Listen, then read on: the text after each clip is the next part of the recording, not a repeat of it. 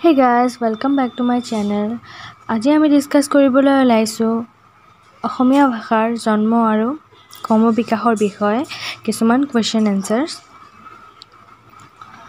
চ' ব'লক এক নম্বৰ প্ৰশ্নটো হৈছে অসমীয়া ভাষা কি গোষ্ঠীৰ ভাষা উত্তৰ হৈছে আৰ্য গোষ্ঠীৰ ভাষা দুই নম্বৰ প্ৰশ্ন হৈছে অসমীয়া ভাষাই কি ৰূপ অসমীয়া ভাষাই ৰূপ পায় কেতিয়া উত্তৰ হৈছে দশম একাদশ শতিকাত তিনি নম্বৰ প্ৰশ্ন হৈছে অসমীয়া ভাষাত প্ৰভাৱ পেলোৱা এটা উল্লেখযোগ্য ভাষাগোষ্ঠীৰ নাম উল্লেখ কৰা।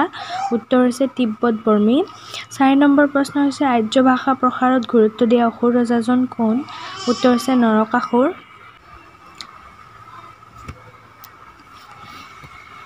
পাঁচ নম্বৰ প্ৰশ্ন হৈছে অসমত ব্ৰাহ্মণসকলক প্ৰতিষ্ঠা কৰা ৰজাজন কোন? উত্তৰ হৈছে নৰকাসুৰ। ছয় নম্বৰ প্ৰশ্ন হৈছে ভাৰতীয় আৰ্য ভাষাৰ স্তৰ কেইটা? উত্তৰ হৈছে তিনিটা। সাত নম্বৰ প্ৰশ্ন হৈছে মধ্য ভাৰতীয় আৰ্য ভাষাৰ এটা উদাহৰণ হ'ল উত্তৰ পালি ভাষা। আঠ নম্বৰ প্ৰশ্ন হৈছে প্ৰাচীন আৰ্য ভাষাৰ দুটা উদাহৰণ হ'ল উত্তৰ বৈদিক ভাষা আৰু সংস্কৃত ভাষা। ন নম্বৰ প্ৰশ্ন হৈছে প্ৰাকৃত ভাষাৰ স্তৰ কেইটা? উত্তৰ তিনিটা। আদি প্ৰাকৃতৰ নিদৰ্শন ক'ত পোৱা যায়? উত্তৰ অশোকৰ শিলালিপিত। এঘাৰ নম্বৰ প্ৰশ্ন হৈছে অপভ্ৰংশৰ নমুনা পোৱা এখন গ্ৰন্থ কি? উত্তৰ হৈছে কীৰ্তিলতা বাৰ নম্বৰ প্ৰশ্ন হৈছে সহজীয়া বৌদ্ধাচাৰ্যসকলৰ গীতবিলাকক কি বুলি জনা যায়? উত্তৰ হৈছে চৰ্যাপদ তেৰ নম্বৰ প্ৰশ্ন হৈছে প্ৰাকৃতৰ আঞ্চলিক ৰূপ কেইটা? উত্তৰ চাৰিটা। চৈধ্য নম্বৰ প্ৰশ্ন প্ৰাচ্য অপভ্ৰংশৰ শাখা কেইটা? উত্তৰ হ'ল চাৰিটা।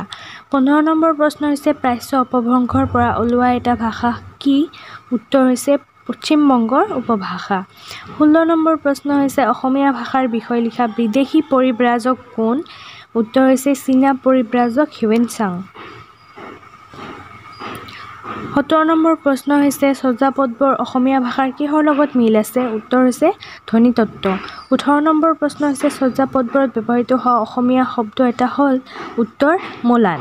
ঊনৈছ নম্বৰ প্ৰশ্ন হৈছে মাধৱ কন্দলীয়ে কি গ্ৰন্থ ৰচনা কৰিছিল? উত্তৰ হ'ল ৰামায়ণ। বিছ নম্বৰ প্ৰশ্ন হৈছে অসমীয়া আৰু বঙলা সাহিত্যৰ উমৈহতীয়া সম্পদৰূপে পৰিগণিত গ্ৰন্থখন কি? উত্তৰ হ'ল কৃষ্ণ কীৰ্তন একৈছ নম্বৰ প্ৰশ্ন হ'ল মধ্যযুগৰ অসমীয়া গদ্য সাহিত্যৰ উল্লেখযোগ্য নিদৰ্শন কি? উত্তৰ হ'ল বুৰঞ্জী সাহিত্য। বাইছ নম্বৰ প্ৰশ্ন হৈছে বুৰঞ্জীৰ গদ্যত কি উপভাষাৰ নিদৰ্শন পোৱা যায়? উত্তৰ হ'ল কামৰূপী উপভাষা। তেইছ নম্বৰ প্ৰশ্ন হৈছে তলদিয়া গদ্যৰ নিদৰ্শনটো ক'ৰ পৰা তুলি লোৱা হৈছে? তাকে শুনি লক্ষ্মীনাৰায়ণে দিলাক খেদি আহিল।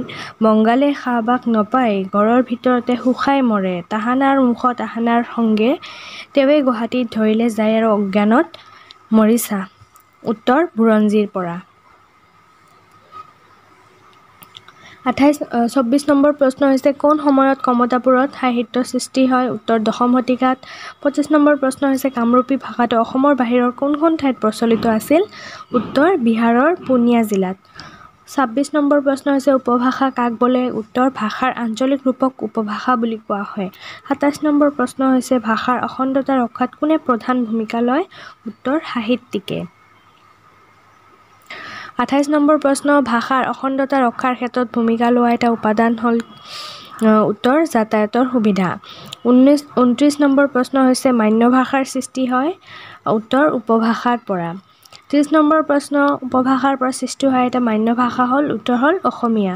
একত্ৰিছ নম্বৰ প্ৰশ্ন হৈছে উপভাষা এটাই মান্য ভাষাৰ স্বীকৃতি লাভ কৰাৰ মাধ্যমবোৰ হ'ল উত্তৰ বাতৰি কাকত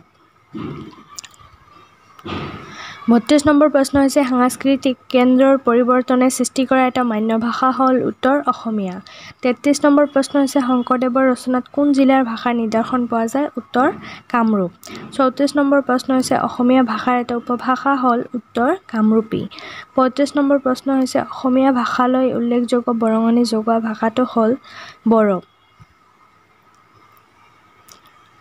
ছত্ৰিছ নম্বৰ প্ৰশ্ন হৈছে আহোম ৰজাসকলৰ তত্ত্বাৱধানত সাংস্কৃতিক কেন্দ্ৰৰূপে পৰিগণিত হোৱা ঠাইডোখৰ হ'ল উত্তৰ শিৱসাগৰ। সাতত্ৰিছ নম্বৰ প্ৰশ্ন হৈছে দক্ষিণ পাৰত চলা উপভাষাটো ব্যৱহাৰ হয় উত্তৰ ছয়গাঁৱত। আঠত্ৰিছ নম্বৰ প্ৰশ্ন হৈছে অসমৰ নামনি অঞ্চলত গঢ়ি উঠা সাহিত্য সংস্কৃতিৰ কেন্দ্ৰস্থলীত হ'ল উত্তৰ কমতাপুৰ।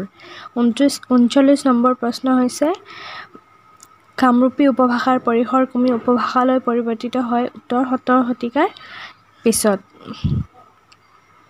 আজিৰ বাবে এইখিনিয়ে। আপোনালোকে যদি মোৰ চেনেলটোলৈ নতুন আহিছে দেন ছাবস্ক্ৰাইব কৰিবলৈ নাপাহৰিব আৰু যদি ভিডিঅ'টো আপোনালোকে ভাল পাইছে তেন লাইক কৰিব শ্বেয়াৰ কৰিব আৰু কিবা অসুবিধা থাকিলে কমেণ্ট বক্সত জনাব। বা বাই